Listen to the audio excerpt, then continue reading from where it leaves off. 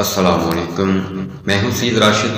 आप तमाम अहबाब को अपने यूट्यूब चैनल में खुश आमदीद कहता हूँ। गवर्नमेंट एम्प्लॉज की ताज़ा अपडेट के साथ आपकी खिदमत में। नादिन गुजशत रोज़ वफाकी सरकारी मुलाजमिन की क्यादत, जिसे रहमान अली बाजवा कर रहे थे, वजारत खजाना के साथ एक शार्ट नोटिस पर मीटिंग हुई। वजारत खाना ने आल एम्प्लॉज जनरलाइज की क्यादत को मदु किया और उनसे कहा कि हमें मुतालबात के हल के लिए मज़ीद वक्त दिया जाए।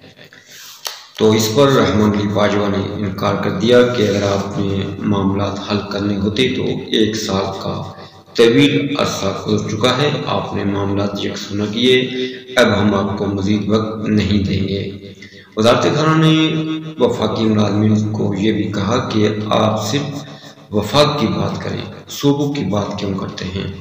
इस पर रहमान अली बाजवा और दीगर जो क्यादत थी उन्होंने कहा कि हम वफाक की नहीं, बल्कि पूरे पाकिस्तान की बात करते हैं, क्योंकि वजी पाकिस्तान न सिर्फ़ वफाक, बल्कि पूरे पाकिस्तान, सारे जो सूबे हैं, सबका वजी अजम है और ज़्यादा पाकिस्तान की ज़िम्मेदारी है कि वो वफाक और सूबों के मुलाजमी के मामला यकसू करें।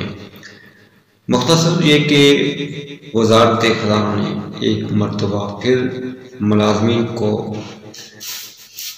तरखाव पॉलिसी अपनाते हुए मज़ीद वक्त देने का कहा और यही नज़र आ रहा है कि वजारत ख़जाना मज़ीद डिले करेगी, जिस पर मुलाजमीन में इश्तियाल पैदा हो चुका है।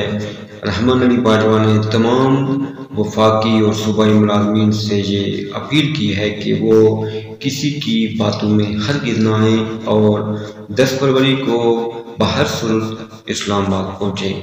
इस्लामाबाद पहुंचकर हम अपने जायज़ मुतालबात के लिए वहाँ पर मुतालबात की मंजूरी तक अपना धरना जारी रखेंगे और इस मरतबा हम अपने मामला हल करवाए बगैर वापस नहीं लौटेंगे।